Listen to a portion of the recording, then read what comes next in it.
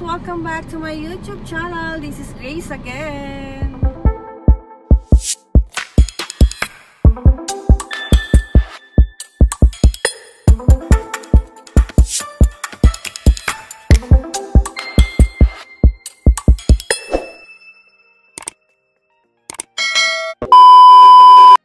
So, for today video, ay i-vlog ko guys yung ah, paano ko ayusin yung mga indoor plants ko kasi meron akong dalawang plants sa bahay.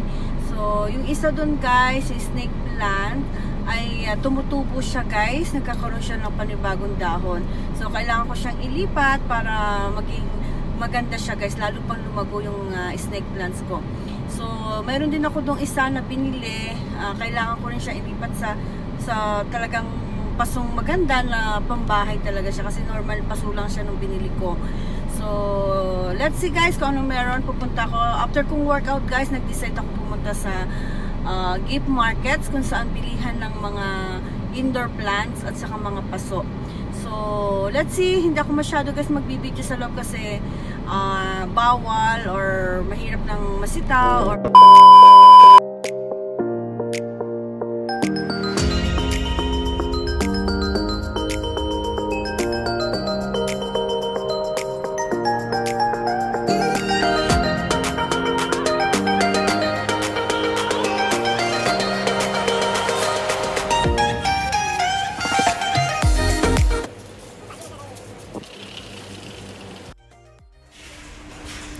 Yan guys, susulog na ako ng gift market.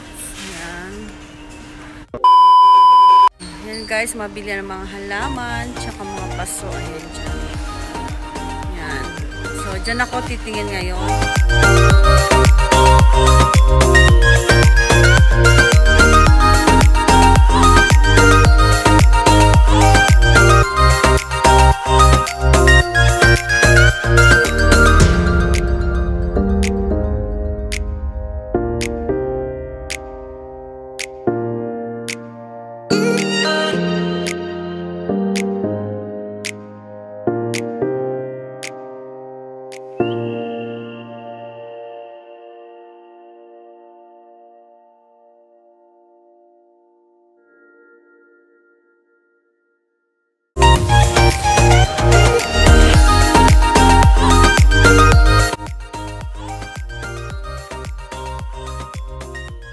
ito mas magandang design guys. Yan. Flower pot. Ayan guys. Mas gusto ko ang white. So, tignan natin guys. Kung ano maganda. Yan. 10 dirham siya guys. Ito 9 dirhams. Pero mas gusto ko to. Happy days. Yan, parang mas like ko to, si Happy Days. Ito super laki na to. Pero dalawa siya, ah. Ayan.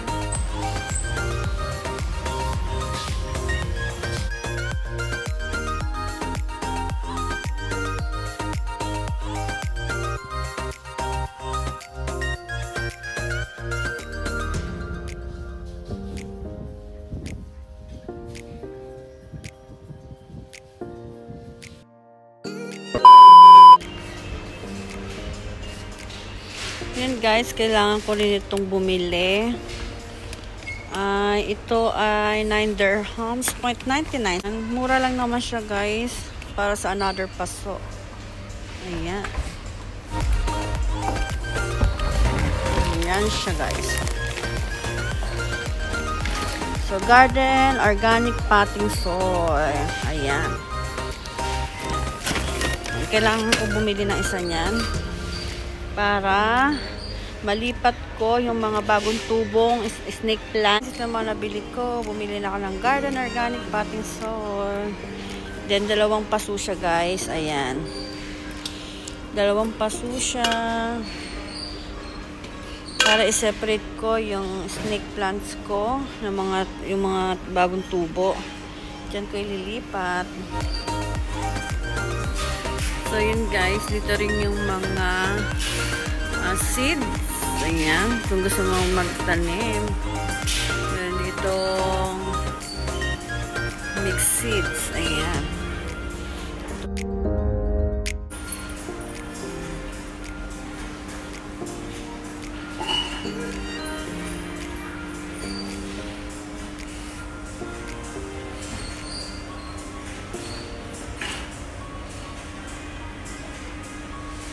Two hours later.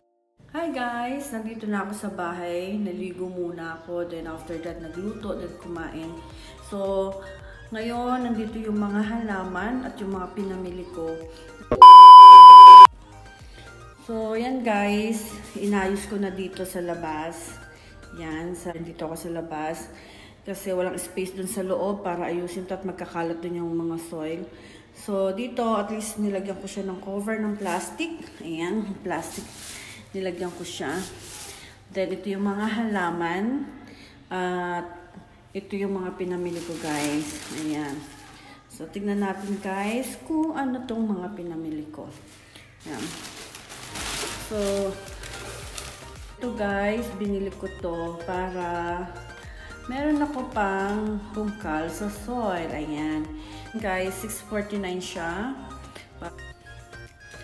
Then, guys, the second one ay itong flower pot. Ayan, mga paso. Dalawa, guys, yung binili ko sa kanila. Ayan. Ayan, dalawa yan, guys. Ayan. So, ito guys, ay mura lang naman siya. Ayan. So, di ba ang ganda guys. Meron siyang yan, message. I'm good for something. O, di ba? Yan siya guys. Mal malit lang naman siya eh. So, ang amount niya ay 10.99 dirhams. Ayan still sa gift market siya. Binili ko. Yan. So, yun guys. Ito guys yung aking two indoor plants. Isa dito guys yung snake plant. Ayan. So, ano to ngayon eh. Common to ngayon sa loob ng, uh, sa loob ng mga bahay. Yung mga mga plantitas dyan na mahilig din sa mga halaman. So, is, isa ito na pinaka in.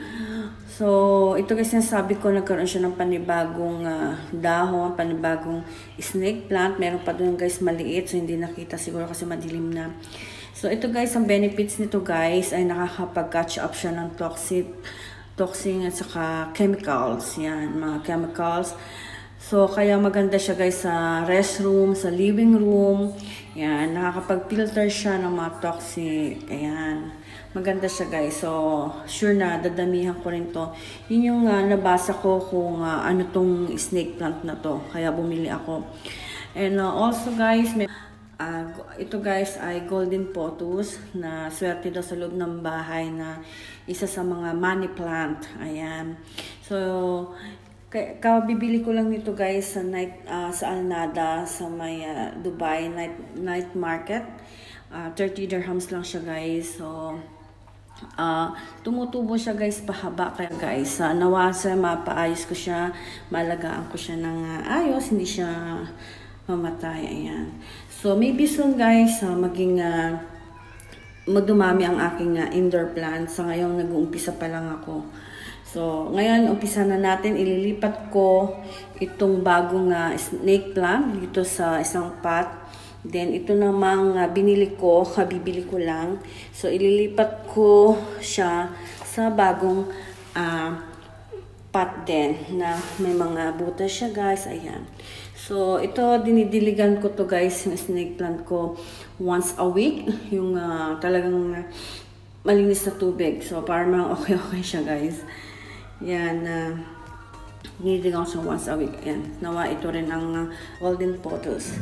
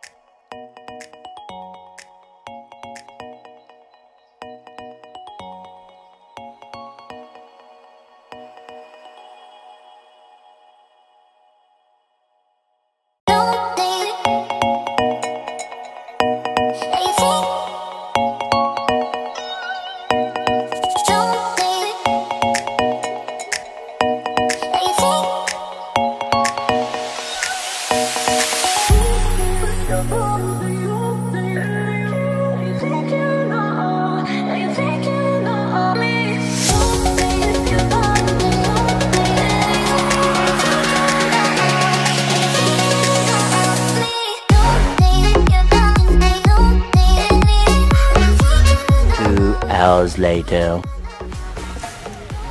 Yan guys, natapos ko na. Ah, dalawa siya, naging tatlo na. Kasi yung ah, snake plant, ah, yung bagong tubo lang naman ay nilipat ko sa kabilang pot. Then yung ah, binili kong ah, new golden potos, ah, nilipat ko lang sa isang paso. Kasi yung old pa, paso niya ay plastic. So ngayon, ah, inayos ko siya, nilagay ko siya sa ah, white ah, pot. Ayan. Nilagay ko siya talaga sa sa magandang pot. Ayan. So, ito pa yung sobra ko. Uh, sunod, dadamihan ko yung indoor plant ko. Ngayon, nag-umpisa pa lang ako. So, ilalagay ko na siya guys sa loob ng bahay. Ayan, yun yung bahay namin. So, ayusin ko itong uh, kalat. Since okay lang naman kasi may plastic naman siya, madali siyang tiklupin. Uh, madali siyang linisin guys. Ayan. May plastic. Ah, maging ayos sila. Yan, gaganda yung mga dahon niya. Ito. Ito, bahart. Ito ay swerte sa bahay daw. Ayan.